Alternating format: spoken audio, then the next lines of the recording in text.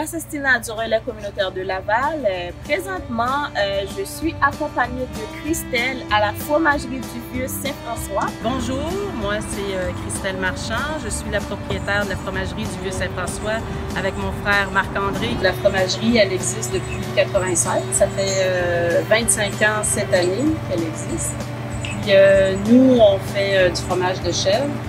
C'est euh, notre spécialité. On fait une vingtaine de fromages environ. Puis euh, aussi, il y a les animaux qui sont à côté de nous aussi.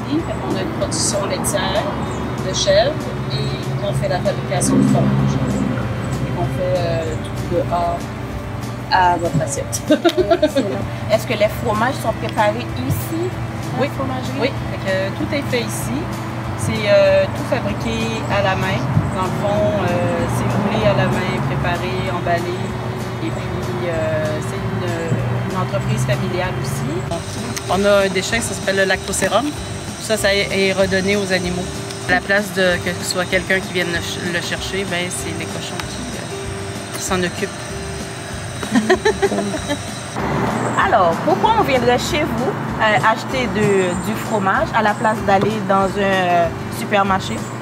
Bien, dans le fond, il n'y a pas d'intermédiaire ici le produit est frais à l'année, tout le temps. Puis on a un, contact aussi avec, euh, avec vous. Fait on peut répondre à vos besoins, vos goûts, on peut vous orienter aussi, euh, expliquer aussi comment c'est fait. Puis euh, vous savez qu'est-ce que vous achetez.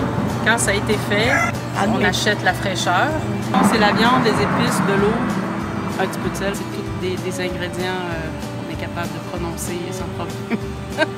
puis que c'est pas mauvais pour nous. C'est euh, nous qui faisons les saucisses avec la viande de nos animaux qui vont à l'extérieur et qui sont nourris de façon euh, traditionnelle. Euh, Dans notre lait, on était, on était seulement producteur de lait, puis on a su que Suzanne était en vente, donc on a sauté sur l'occasion et approfondir notre, notre art. J'ai vu sur votre site internet que vous utilisez beaucoup le lait de chèvre ainsi que le lait de vache. Euh, le lait de chèvre, c'est euh, beaucoup moins gras que le lait de vache. C'est plus facile à digérer aussi. Les particules du lait sont plus fines. ceux qui euh, sont intolérants au lactose, ils se tournent vers le, lait de chèvre parce que c'est plus facile à digérer. Puis, le côté goût, c'est vraiment différent. C'est comme dans la viande. Là. On sait qu'on mange du poulet, puis l'autre que c'est du porc. On était producteur euh, de lait euh, de vache. Puis on s'est tourné euh, vers la chèvre parce qu'on voyait qu'il y avait une nouvelle, que les gens étaient intéressés de plus en plus à la chèvre. Puis nous, c'était un nouveau défi. Nous, on avait déjà la boutique de fromage. On achetait du fromage d'ailleurs. Puis avec les clients aussi, on n'offrait pas ce que le client voulait nécessairement.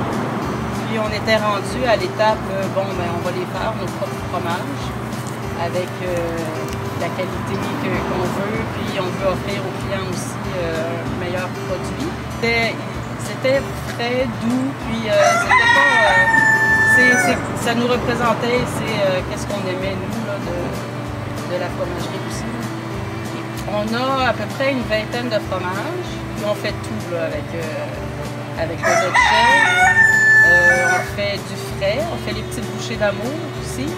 Ça, c'est euh, des petites boules qu'on roule à la main, puis qu'on met dans des petits pots avec de l'huile, puis aromatisé un petit peu.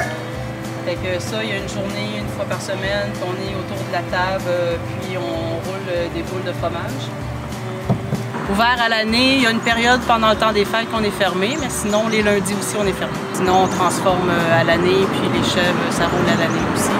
Fait que les gens, ils peuvent venir acheter leur fromage, faire un pique-nique, aller voir les animaux. Tout est accessible à l'extérieur. Euh, puis il n'y a, a, pas de coût relié au site, là, dans le fond.